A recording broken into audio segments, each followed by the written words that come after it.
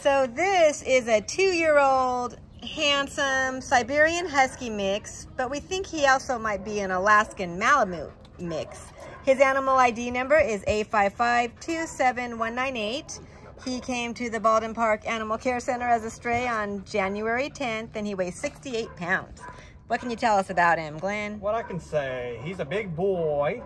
Uh, so he's got some strength in those muscles, and I think if anything, when he gets into a good home uh, with regular feeding, he might even get a little bit bigger, but uh, luckily he's pretty chill. Uh, so he's past his puppy years, but he's still got a lot of living to do because he's only a couple years old.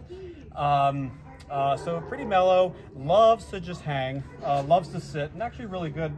He's responsive to treats. He'll sit down on a dime. You can. He's probably pretty easy to train. Um, and yeah, as far as uh, this breed goes, I would say he's on the mellower side and very affectionate as well. Look at that happy face. Yeah. So he's a lot of these, a lot of dogs like this, they can be very bouncy, very aloof, uh, always looking for a way out. And you know, this guy, um, uh, he's a little bit more grounded and a little bit more uh, attuned to uh, his handler. So he does love to snuggle and be very Aww. sweet.